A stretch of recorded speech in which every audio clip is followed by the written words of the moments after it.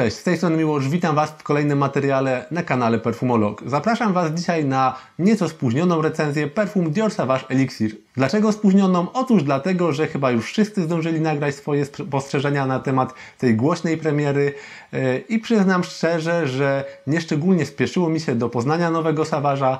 E, wydawało mi się, że oczywiście będzie to nic ciekawego, e, dlatego też jeżeli jesteście ciekawi recenzji, zostańcie ze mną. Jeszcze taka mała prośba, jeżeli jeszcze tego nie zrobiliście, a podobają się Wam moje materiały, kliknijcie proszę w przycisk subskrybuj, bardzo pomaga mi to rozwijać kanał. Zachęcam Was również do zapoznania się z ofertą sklepu zapachnieści.pl, który jest partnerem mojego kanału. Możecie tam nabyć odlewki perfum i uważam, że jest to świetna opcja, jeżeli chcecie poznać, przetestować dany zapach, ale sklep posiada również w swojej ofercie niepełne flakony perfum.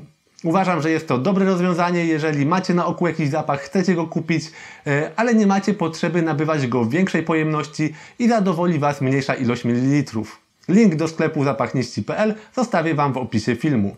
Biorąc pod uwagę rosnącą liczbę subskrybentów oraz to, że kanał naprawdę fajnie się rozwija, chciałbym Wam zaproponować taki typowy odcinek QA, gdzie moglibyście zadawać pytania niekoniecznie związane z perfumami. Może wśród Was są osoby, które chciałyby założyć swój własny perfumowy kanał na YouTubie, ale nie wiedzą jak się do tego zabrać, od czego zacząć, chciałyby zapytać o sprawy techniczne lub zadać jakiekolwiek inne pytanie, to zachęcam Was, zostawiajcie pytania pod tym filmem. Jeżeli uznacie, że moja propozycja jest atrakcyjna i uzbiera się odpowiednia ilość pytań do tego, aby nagrać odcinek Q&A, to to zrobię, a jeżeli nie, to po prostu za tydzień czy za dwa zamieszczę kolejną recenzję perfum. A teraz wróćmy do tytułowego bohatera. Nowy Dior Sauvage Elixir to premiera, która w naszej perfumowej społeczności narobiła sporo szumu. Zbiera naprawdę świetne recenzje i gdy już nabyłem próbkę i postanowiłem go przetestować, zaaplikowałem go na skórę 5 razy i rozbolała mnie głowa.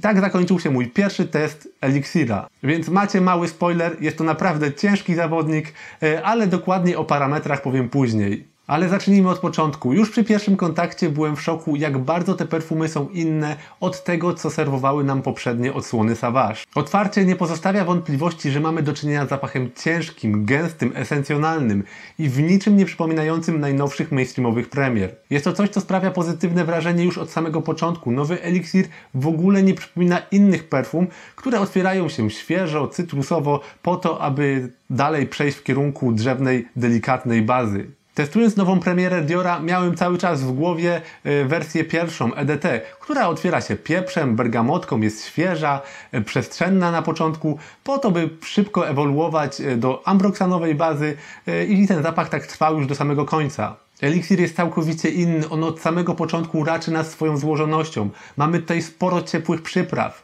gałkę muszkatołową, cynamon, kardamon, ale również bardzo mocno wyczuwalną lawendę. Zaskoczyło mnie również to, że od samego początku wyczuwałem wyraźnie lukrecję. Zapach jest ciepły, korzenny i efekt ten fajnie równoważy grapefruit, który jest mocno wyczuwalny w otwarciu, ale nie jest to grapefruit, który nadaje świeżości, takiej cytrusowej świeżości. Powiedziałbym bardziej, że on nadaje e, eliksirowi goryczy. Lawenda w eliksirze sprawia, że zapach ten posiada jednoznacznie męski wydźwięk. Nowy Savage nawiązuje do perfum z lat 80., klasycznych perfum, gdzie lawenda była składnikiem wyjątkowo mocno eksploatowanym. Posłużę się takim stwierdzeniem, abyście zrozumieli, jak bardzo eliksir jest innym zapachem od wody toaletowej Dior Savage. Otóż gdy testowałem eliksira po raz pierwszy, to zapach ten bardziej skojarzył mi się taką super odmłodzoną wersją Dracar Noir, czyli z perfumami starymi, e, perfumami Fougère, niż z wodą toaletową Dior Sauvage. Oczywiście nowa premiera Diora to nie jest zapach Fougère w dosłownym tego słowa znaczeniu, ale ewidentnie twórcy nawiązali do tych zapachów, głównie za sprawą lawendy. I właśnie ten lawendowy pierwiastek sprawia, że spośród całej linii Dior Sauvage wersja Elixir jest najbardziej dojrzała, przeznaczona dla najstarszych użytkowników. Tak więc w Elixirze od samego początku naprawdę dużo się dzieje, co było dla mnie kompletnym zaskoczeniem. A wracając jeszcze do tego, co mówiłem o Dracar Noir.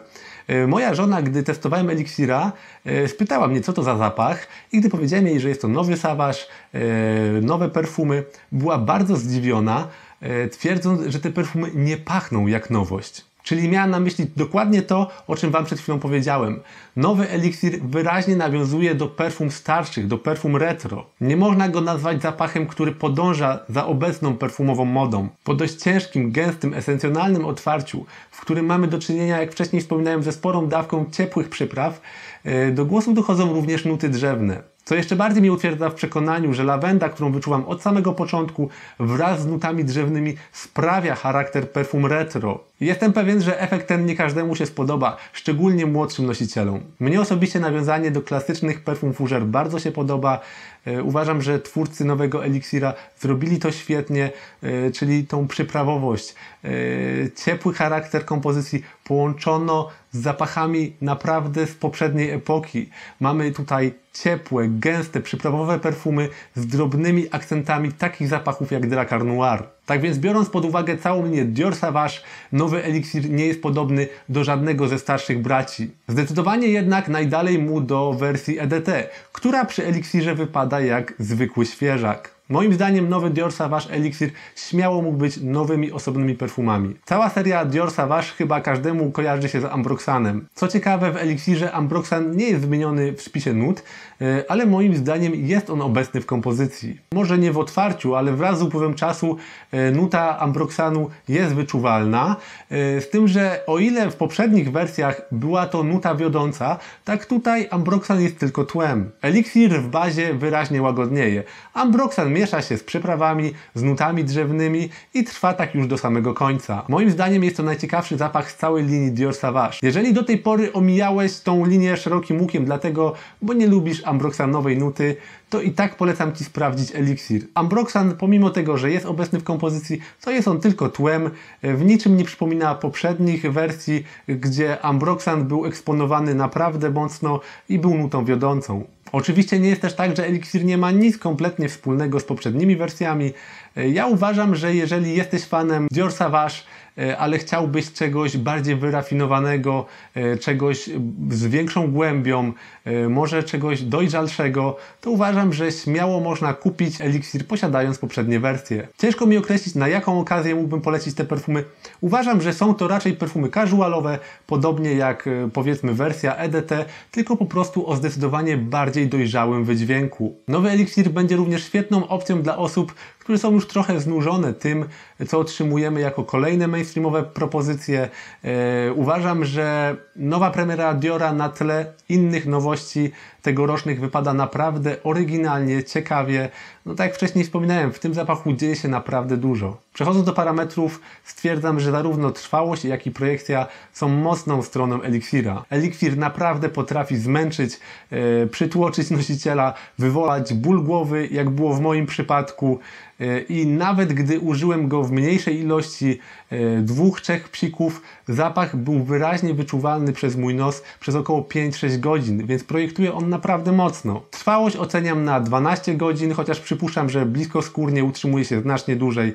Dlatego też jeżeli szukacie perfum głośnych z ogonem, nowy eliksir będzie dobrym wyborem. Przechodząc do podsumowania, stwierdzam, że jest to dobra i przede wszystkim odważna premiera. Dobra, dlatego że te perfumy jakościowo są naprawdę świetne, dużo się w nich dzieje, są gęste, esencjonalne, nietypowe, co jest również dużym plusem. A dlaczego odważna? Uważam, że lawendowo-oldschoolowe konotacje sprawią, że Elixir nie będzie takim bestsellerem jak poprzednie wersje. Z dużym prawdopodobieństwem można stwierdzić, że nowa premiera Diora nie przebije chociażby wody toaletowej, która jest wyraźnie bardziej świeża i po prostu łatwiejsza do polubienia. Dlatego uważam, że jest to dość odważny krok marki Dior, e, ale takie zachowania należy chwalić i fajnie, że na rynku perfumowym pojawiło się coś nowego, coś nietypowego. Czasami wydaje mi się, że mainstreamowe nowości są kierowane głównie do osób młodych albo bardzo młodych.